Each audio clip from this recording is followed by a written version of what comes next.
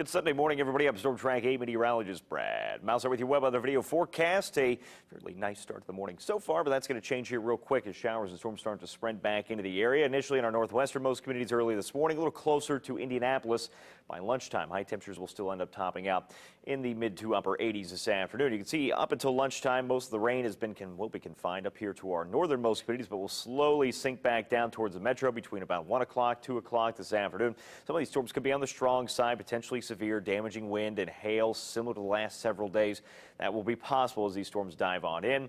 More storms by dinner time before we finally clear back out late tonight with just a few lingering storms into Monday morning. Just a marginal risk for severe storms. Low end threat that just means isolated occurrences, those damaging wind and hail reports. Uh, outside of that tonight, we hold on to a few lingering showers. We cool back to 66 degrees, 70 in Greencastle, low 70s from Bloomington to Bedford and on over to towards Terre Haute. Tomorrow, we're going to do it all over again. Similar high temperatures, high temperatures in the upper 80s. Some storms lingering into the early morning. I think we clear by lunchtime a bit and then then more storms push back in by Monday afternoon.